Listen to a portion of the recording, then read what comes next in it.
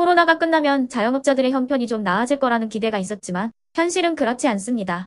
자영업자들이 이자와 세금 빼고 실제 쓸 수 있는 돈이 1년 전보다 20%가량 줄어든 걸로 나타났습니다.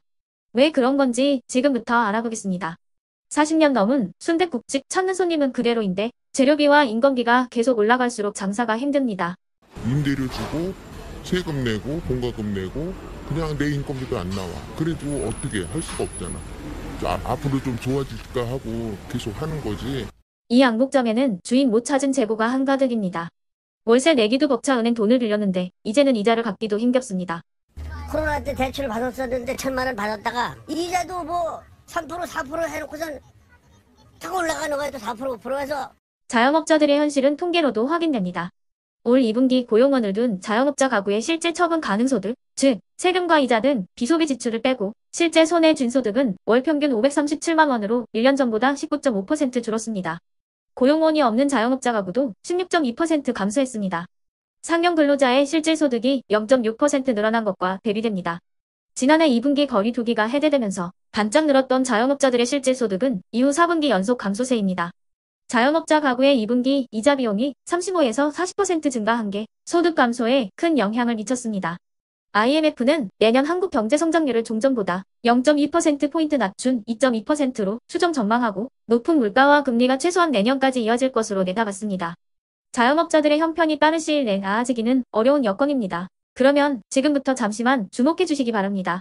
제가 구독자분들을 위해서 이벤트 선물을 하나 준비했는데요. 제가 항상 여러분들께 뭐라고 말씀을 드려요. 뉴스만 평소에 잘 챙겨보셔도 돈이 된다, 돈을 벌 수 있다라고 말씀을 드렸는데요. 자, 여러분들 여기 보시는 경제 뉴스, AI 산업 관련 뉴스를 보게 되면 여러분들은 어떤 생각이 드세요? 그냥 뉴스만 보고 끝내는지 아니면 이 뉴스를 어떻게 이용할 수 있는지 이 부분을 고민하고 계시는지를 되물어보고 싶습니다. 그 이유가 뭐냐면요. 제가 지난 10월 초에 여러분들께 뭐라고 말씀을 드렸죠? 지금은 이스라엘 하마스 전쟁 관련주에 관심을 가져야 한다. 뉴스만 보고서 절대 그냥 넘기지 마시고 투자 쪽으로 생각을 한번 해보셔야 한다라고 말씀을 드렸습니다. 그리고 나서 일원성 내일들을 뉴스를 통해서 많이 보셨을 텐데요. 이런 이스라엘 하마스 전쟁이 이슈가 됐을 때 부자들은 어떻게 생각한다고 했나요? 전쟁 관련주는 뭐가 있는지, 어떤 종목이 가장 좋은지, 어디에 투자해야 돈이 몰리는지 자연스럽게 생각한다고 제가 말씀을 드렸죠. 부자들이 봤을 때는 이슈가 곧 돈으로 이어지고 그 이슈가 나에게 돈을 벌어준다는 경험적 확신이 있기 때문에 부자들은 항상 이런 사회적 이슈를 관심있게 챙겨본다. 이렇게 제가 말씀을 드렸는데요. 이번에도 마찬가지입니다.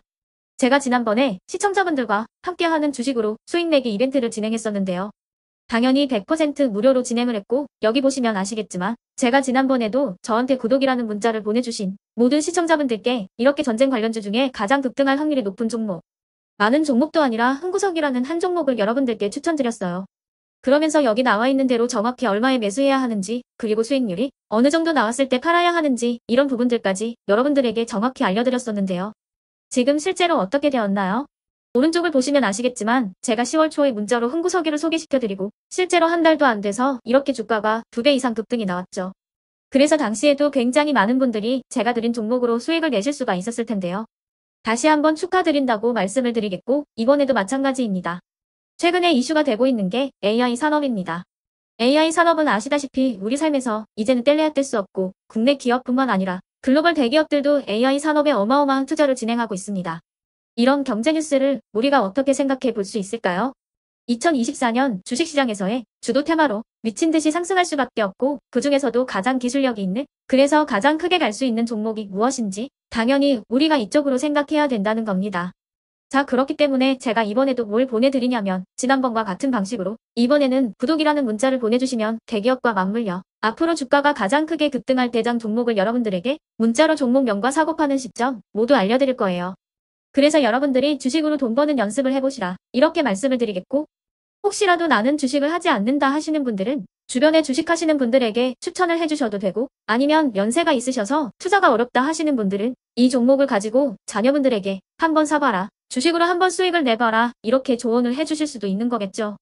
그래서 지금 이 영상을 보시는 시청자분들 중에 나도 이번 AI 종목 좀 궁금하다 하시는 분들은 누구나 상관없이 어느 시간대나 상관없이 부담없이 이렇게 상단에 제 번호를 항상 남겨놓고 있습니다. 제 번호 010-8109-2058번으로 저에게 이런 식으로 지난번처럼 구독이라는 문자를 보내주시면 제가 이번에도 아무 대가 없이 무료로 주식 종목 문자를 보내드리겠습니다. 이해되시죠? 0108109-2058번으로 구독이라고 문자를 보내주시면 여러분들이 직접 이슈를 통해서 돈 버는 연습을 해보실 수가 있는 거고 제가 돈을 받는 것도 아니고 투자를 대신해 드리는 것도 아니니까 부담 없이 신청해 주시면 되는 겁니다. 그리고 수익이 나면 저는 다른 것은 바라지 않습니다. 제 채널에 구독, 좋아요 하나만 눌러주시라 이렇게 말씀을 드리겠습니다. 그럼 영상 마무리하면서 구독자 여러분들께 늘 행운이 깃들길 기원하겠습니다.